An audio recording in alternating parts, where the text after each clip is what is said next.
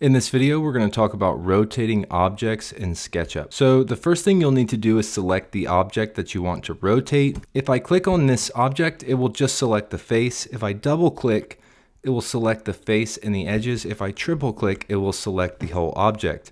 Now we're ready to rotate it, but I would recommend that you go ahead and right click the object and make it a component. So if you triple click, right click, and then make component, all you have to do is click on the object once, and all of the parts of the object like these faces and lines won't be separated when you make changes. So now we're going to rotate the object. So the rotate tool is right here. I'm in the free version of SketchUp. If you hit Q on your keyboard, it will bring up the rotate tool. That's the shortcut. Now, many people have a problem with the fact that the protractor here changes from blue to red to green. And the way to fix this is hit the up arrow key if you want to lock it into blue, left arrow key for green, right arrow key for red.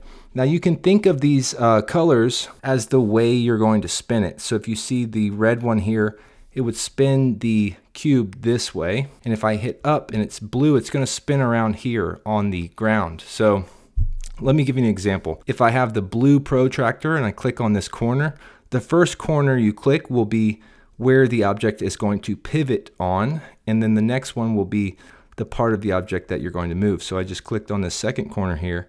I can just drag it like this. Now, instead of trying to eyeball, say like 90 degrees, I can just type in 90 and hit enter. Or if I hit 180, enter, just like that. So that's how you work that. If I were to hit Q for the rotate tool, left arrow key, lock it into green, I could click on this corner, then click on this one and rotate it this way, right? And then if I were to hit the right arrow key for the red axis, I could click on this corner and this corner and it would rotate this way. So that is how you use the rotate tool. And like I said, you can type in 180, 90, whatever you want to do. It's that simple. Thanks for watching and I'll see you in the next video.